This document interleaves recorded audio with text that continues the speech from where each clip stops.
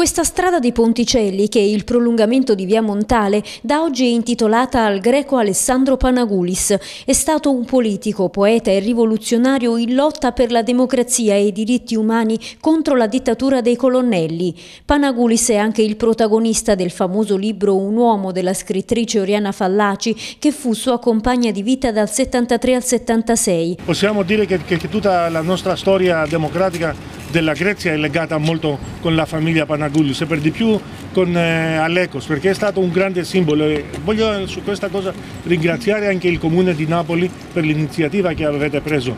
Siamo in momenti molto difficili dove molte cose le abbiamo perse, molto di, di, di tutto quello che è successo prima lo, lo, lo vogliono cancellare però queste sono le nostre storie. La scelta del Comune di dedicargli una strada sottolinea la volontà dell'amministrazione di rendere omaggio ad un uomo divenuto simbolo della resistenza ai regimi autoritari. Si consolida un legame sempre più forte tra la comunità napoletana e la comunità ellenica e lo si fa ricordando in un quartiere di periferia un rivoluzionario, un uomo politico autentico, una persona ricca di umanità, un letterato, un poeta, un uomo libero un uomo che ha sofferto per la libertà, ha contrastato la dittatura e ha fatto onore ai valori di democrazia, di libertà, di fratellanza e di uguaglianza che nel Mediterraneo sono particolarmente radicati. Quindi siamo davvero contenti di aver voluto fortemente come amministrazione comunale questo giorno.